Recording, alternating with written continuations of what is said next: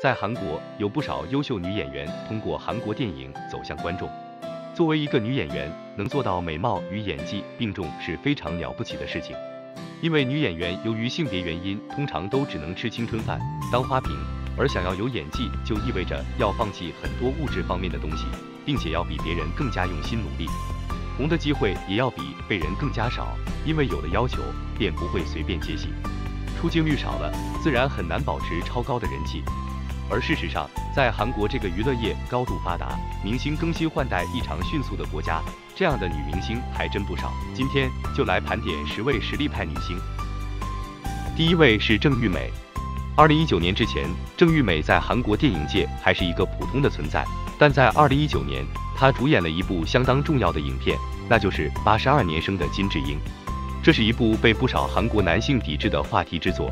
郑玉美因主演该片而成为近几年最勇敢的韩国女演员之一。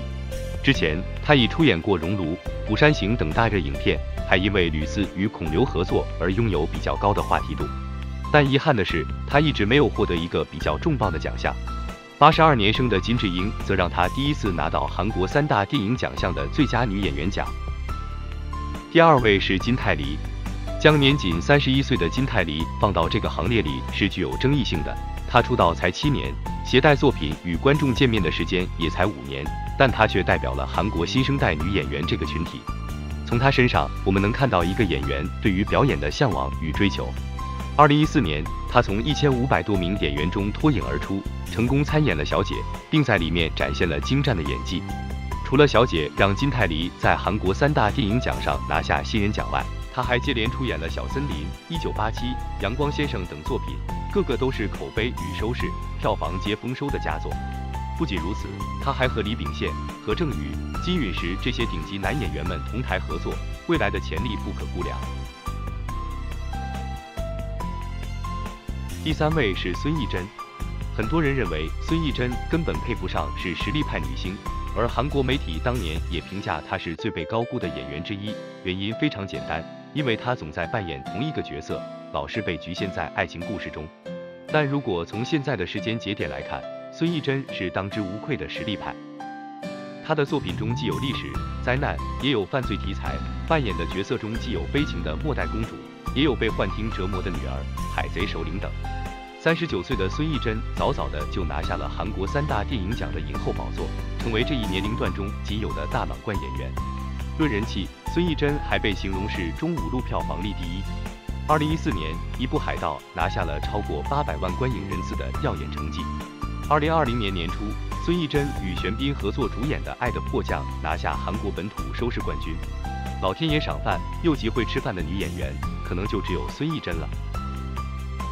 第四位是裴斗娜，在韩国影视圈走另类路线的裴斗娜绝对算不上是美女，但她说话直接爽快的风格，反而在众多女星中凸显了自己的独特。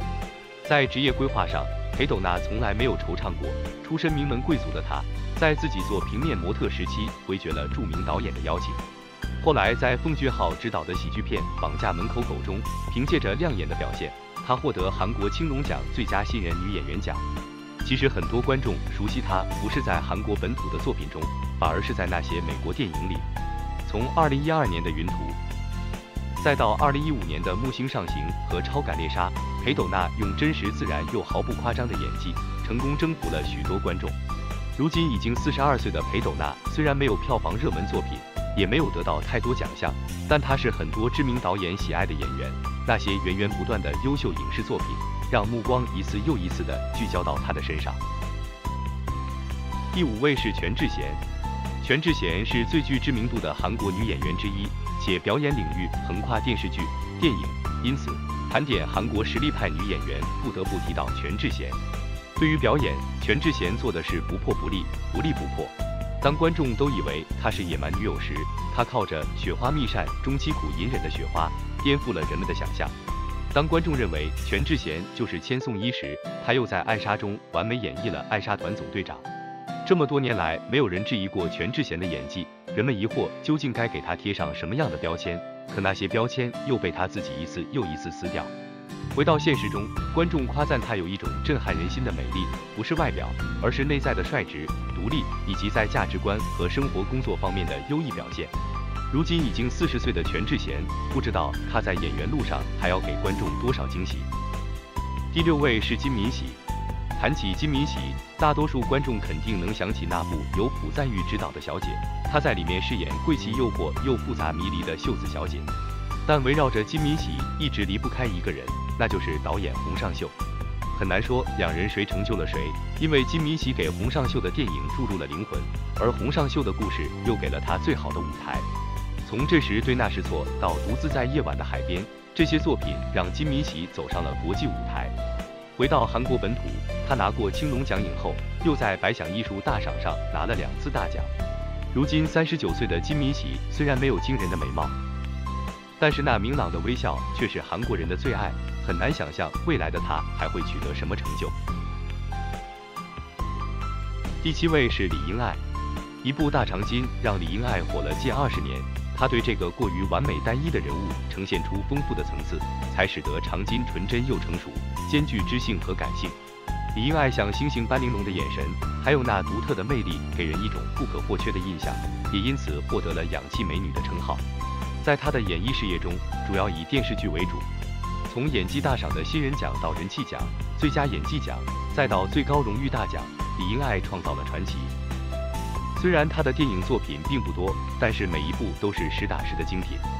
作为电影演员，李英爱踏踏实实地靠着作品走上威尼斯电影节红毯，并两度在柏林电影节上担任评委。二零一零年，李英爱为了相夫教子选择隐退。二零一九年，她通过《请寻找我》重返大荧幕。这么多年过去了，她又怎么可能被观众遗忘呢？第八位是金惠秀。一九七零年出生的金惠秀，她的气质在韩国女明星中很少见，同时她也是中五路金字塔尖的女演员之一。十五岁时，金惠秀就靠着在雀巢广告中青春迷人的形象成为国民初恋，并顺势进入演艺圈。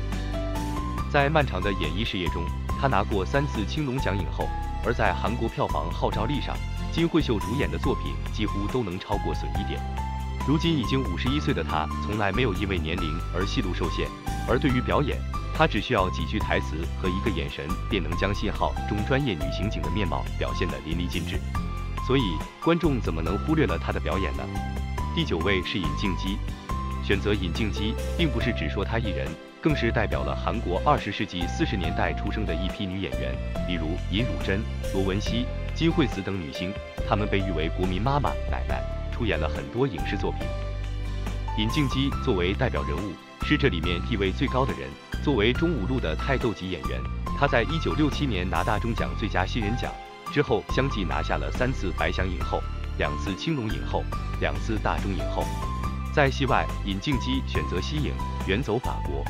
二零一零年，尹静姬受到导演李沧东邀请，重新出山主演了电影《师》，这部作品获得了很多奖项。尹静姬和那些老戏骨们可能戏路受限，一直在演着同一类角色，但他们对表演的掌控和对艺术的追求，鼓舞了一代又一代人。第十位是全度妍，从广告模特到电视剧演员，再到电影演员，全度妍走着韩国女艺人最传统的晋升路线。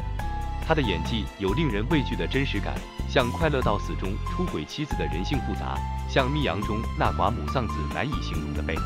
全度妍总是将合作者逼到墙角，把观众逼回现实。全度妍在韩国本土拿了六座青龙奖、四座大钟奖、三座百想艺术大赏奖，但最高光的时刻是在2007年的戛纳电影节上。从那时起，她成为了韩国第一位、亚洲第二位戛纳影后，也成就了至今无法超越的巅峰。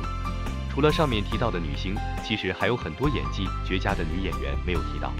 那么，你心目中的韩国实力派女演员都有谁呢？感谢收看本期视频，这里是洞见人物，喜欢别忘了关注我们，我们下期不见不散。